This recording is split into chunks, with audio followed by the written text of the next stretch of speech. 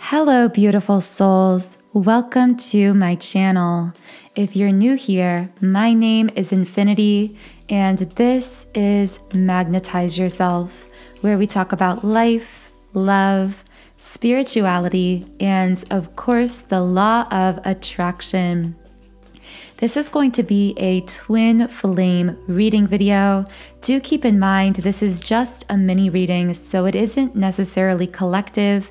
If you would like to explore my most recent collective twin flame readings and energy updates, look for a video with the title or with the words energy updates in the title. And I post these longer, more collective energy updates on Mondays, Wednesdays, and Fridays at 12 p.m. Eastern Standard Time. Also, be sure to subscribe or double check that you are already subscribed if you would like to receive a specific message in this reading for you and your situation. By subscribing, you are not only allowing me to pick up on your energy more easily for this reading, but also in future readings as well. I'm able to channel you more accurately and bring you more relevant content. So, I'm intending for this to be a reading sharing some of what could be coming in for twin flames during this full moon in Virgo. Happy full moon, by the way. I hope you've been having a really beautiful day. Let me know if you have any kinds of full moon rituals or manifestation rituals that you do on this lunation cycle in the comments under this video. And in the spirit of the full moon, I am starting this reading by pulling a card from the Moonology deck. And actually, two cards came out here. Take time to breathe out, disseminating moon. Step out of your comfort zone, North Node. So, right away, I feel that with this take time to breathe out card, this could be speaking to a divine feminine. I'm hearing that divine feminine, many of you have been working really hard recently. Whether that's actual work at your career or your job, or whether this is what we think of as energetic work, shifting, healing, transformations taking place beneath the surface. Be really kind and gentle to yourself. I'm really hearing have fun, do something that brings you joy, relax a little bit, especially today on this full moon, and especially if you've been feeling burnt out lately. Find a way to take some time for yourself and trust. That word trust is really coming out strongly for someone here. Now, with the cards, step out of your comfort zone. I feel this is actually speaking to a divine masculine. Now, with the sun card in the reverse position, this almost almost always refers to some kind of new beginning. So the fact that it is in the reverse tells me that someone could be trying to work towards some kind of new phase in their life here. I'm specifically sensing a divine feminine who is trying to apply effort to something in her life that she's trying to begin, but she could at times feel as though this is having difficulty getting off the ground, that this new beginning isn't quite fully coming in for her. This could be in love relationships, or it definitely could be in work, business, career for someone as well, some kind of new phase in her life. And I'm hearing continue to move as you feel guided and also trust the timing because I really feel if this is connecting with you, divine timing is on your side more than you know here.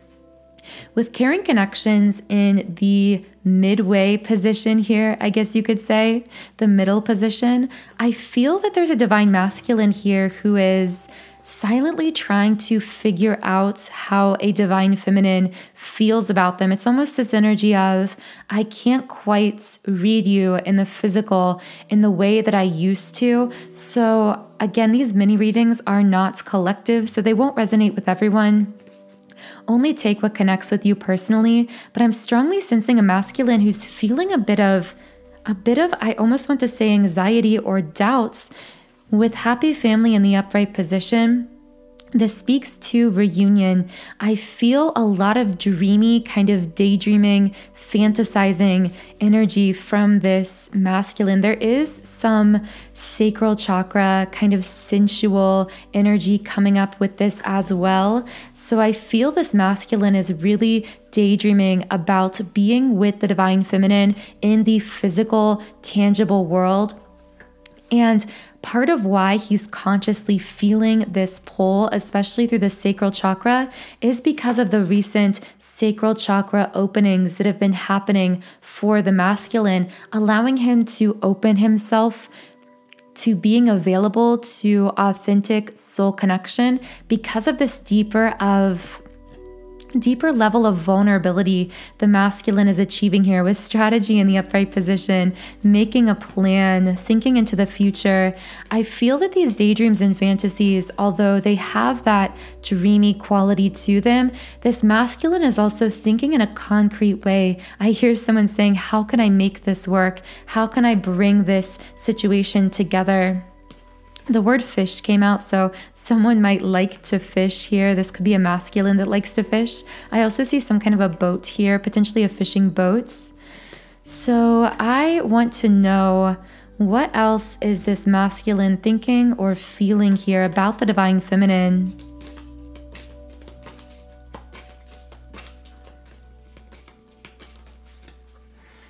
The cards are kind of silent here as I'm trying to pull a specific message, which tells me this masculine might be really tight lipped about these daydreams, fantasies, plans, even that they're making, things that they're thinking about you, divine feminine. There could be even a bit of a silence in communication, or if you are communicating, there could be this feeling like he's not being fully open about what he's feeling, but I'm almost getting this energy of if he has seemed a little more closed off lately, it's actually because the opposite is going on within him because it's like that feeling of I'm afraid to even start talking and opening up because I'm scared that I'll say too much.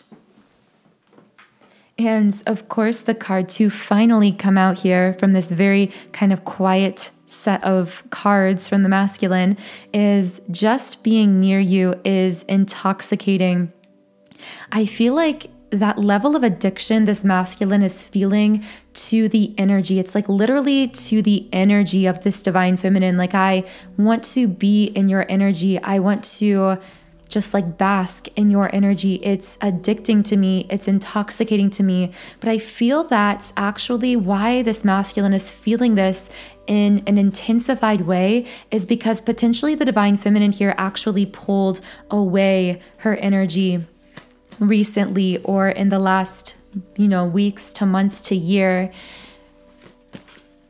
And I feel that divine feminine, whenever you pull away your energy, this masculine realizes just how addicted he is to your to you being energetically present in his life to some degree, whether it's physically being together or even just, I see two people texting, so that's probably really relevant for someone. Yeah, I feel there's a divine feminine here who's guarded. With woman holding a heart reversed, I see her pulling away her love energy. I heard the word cordial, it's like acting cordial or like more formal with someone, kind of withdrawing that level of that level of closeness or openness with them when it comes to expressing feelings, specifically romantic feelings. I sense that this feminine, not that she's gone cold, but that there was this pulling back on the side of the feminine here, and actually, secretly, although this masculine is trying to hide it, that's made him consciously realize just how intoxicated he is by her energy.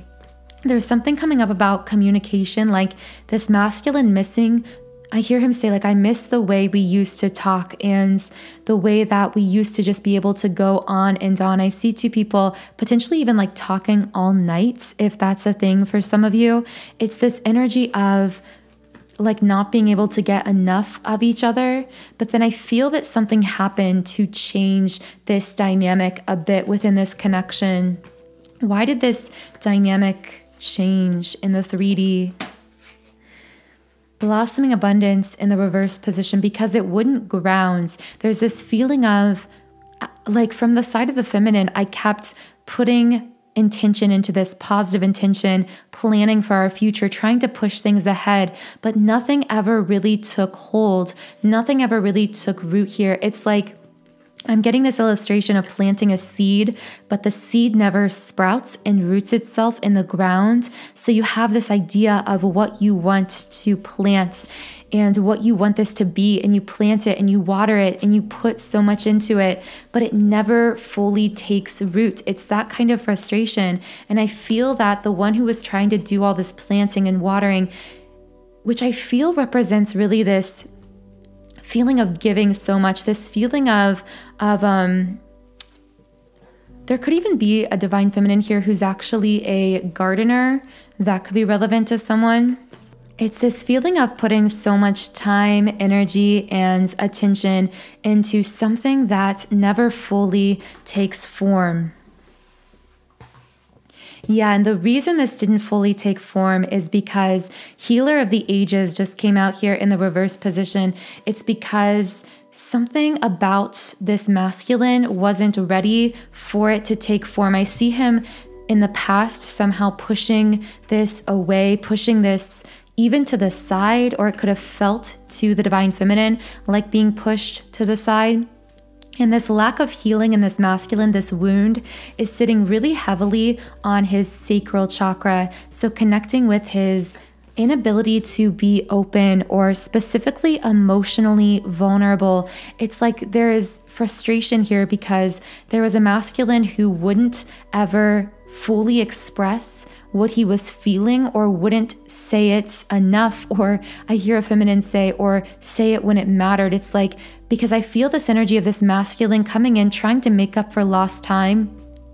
Or if he's not already doing this, this could be what he wants to do, like wanting to come in and say all the things that he didn't say before it's this feeling of urgency from the masculine as well. Like I have to say what I should have said so long ago.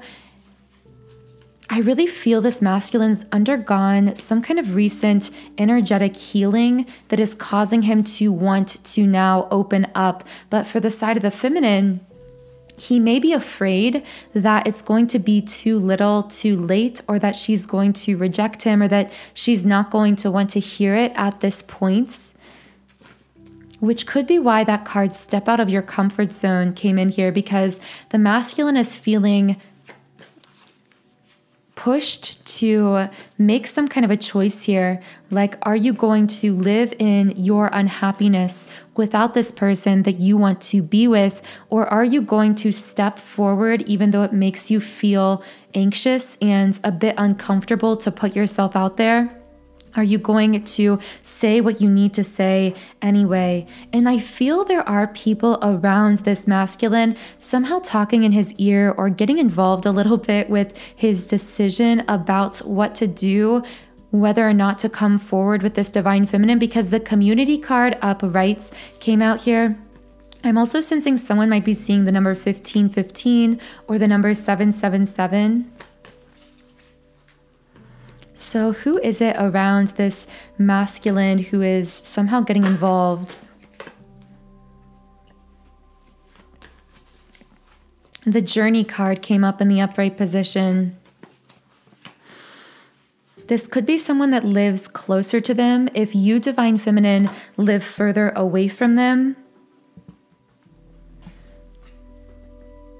this is some kind of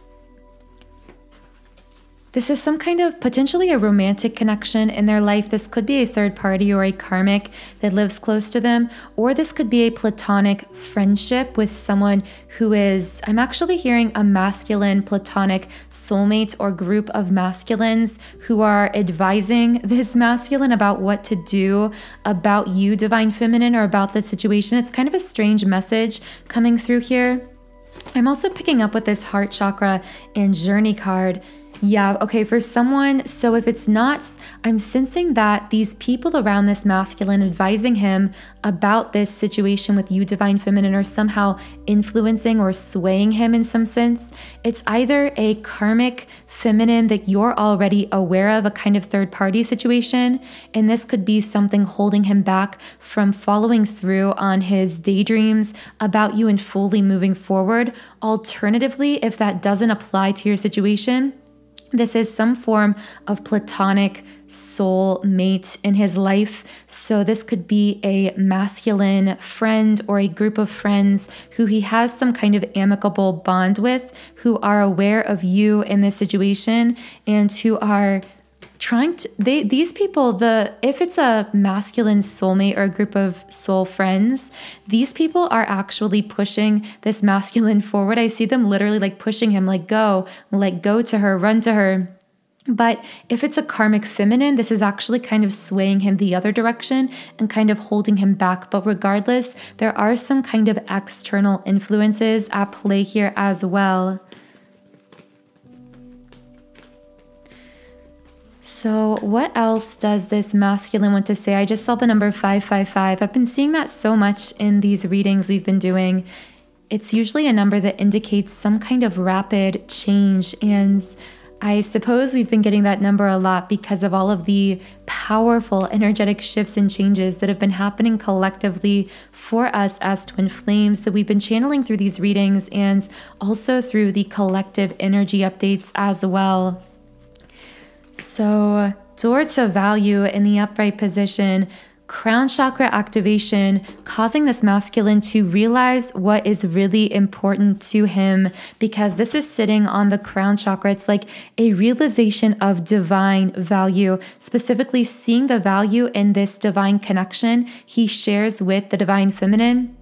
And there's this powerful reprioritization happening for the masculine. If this is connecting with you personally, know that there are a lot of really intense crown chakra activations happening for the masculine right now. And I've channeled much more specific information on these in my most recent twin flame energy update, which is available on my channel. I'm resisting my desire for you because it's too late now. We've grown apart and you moved on. So there is that fear of rejection coming out for this masculine. It's like I want to fully come forward, but I'm afraid that you won't want to hear the things that I should have said so long ago. And although I do sense some kind of separation between these twins, the masculine here is afraid that the feminine has moved on. Now, I feel in some cases you have moved on, divine feminine, but for others of you, you actually haven't moved on. It's just that this masculine is living in his fear here and really thinking, you know, I don't, there's this feeling of not knowing what's going on in your life and making assumptions. So that's the key here. It's like you and this person are not very aware of what's going on in each other's physical 3D lives, even though you are extremely aware of one another spiritually. And because of this, this masculine, although he senses you spiritually, he doubts that connection because he is more 3D focused at this time. He is still in his healing. And so he has these doubts coming in, making him wonder if it's too late, if he's silly for wanting to come forward in this way, or if you would reject him if he did. So is there anything else here that I can channel for the twin flames connecting? I am grateful for this spiritual lesson also came out here. I see this card indicating that as this masculine, especially with this crown chakra opening, his opening to divine guidance, his own inner guidance, he's really consciously realizing this is a soul bond. This isn't going away. This is a soul connection. And regardless of what happens in the future of this connection or what choices are made by either party, I sense this masculine feeling this heart opening sense of gratitude, almost like the kind of gratitude that makes you cry tears of joy. And I do sense him feeling emotional about this connection and about you, divine feminine, thinking back on the times that you did share together because I do feel there's some form of separation happening between you in regards to distance or communication or something along those lines. But I sense this masculine feeling so consciously cognizant of the soul bond you share, how powerful and intense it's always been, the fact that it's always going to be something they feel connected to, that it's not going away. And they actually, I feel in the past, they may have felt a little bit intimidated by that. So they tried to kind of deny or doubt that knowing of the intensity of your soul bond. But now it's actually bringing them a sense of peace and gratitude for you and for everything this connection has taught them and how much they've grown through it. They are really beginning to connect the dots and put the pieces together about this. Yeah, goddess of the moon in the upright position. Also, the words grandmother and German came out here. Someone might have a grandmother energy, specifically a divine feminine, may have a grandmother or a great grandmother, someone in your maternal line who acts as a spirit guide to you, who is energetically supporting you in this life journey. And regardless, Divine Feminine, you are really rising into your power. You are embodying the fully awakened Divine Feminine. And with strategy in the upright position, while I feel this masculine is making more concrete plans, or at the least, having these fantasies of moving forward with you, Divine Feminine, in the physical, I feel you've turned your focus and attention onto yourself, your goals, your dreams, creating that masculine structure in your life, which is really healing your inner masculine and is part of why this masculine is being pushed to these realizations, is beginning to connect the dots because divine feminine, you are doing the work on yourself and within your own life. So continue that rise into your own self empowerment. Continue creating that structure around your goals and dreams in your life because you are doing a beautiful job and your guides really want you to know that at this time. So, this feels like a really great place to close out this reading. If it did resonate with you, I really recommend exploring my subliminal for twin flame surrender.